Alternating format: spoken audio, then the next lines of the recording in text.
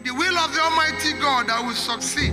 Don't think that once you succeed, your job has stopped. That is when you begin your job. We have a country called Nigeria, but we don't have Nigerians. What we want to do is to create Nigerians. And the only way to create Nigerians is that we must make people to have faith in Nigeria. And the only way they have faith in Nigeria is that there's hope in Nigeria. You're not asking for too much. God created this country, country great. The only thing that is lacking is a simple thing called leadership.